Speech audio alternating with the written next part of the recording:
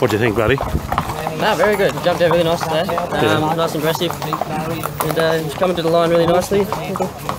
Just usually fill up a little bit, but I had to do that just to get him to get a roll on, Yeah, down, yeah, get a tempo.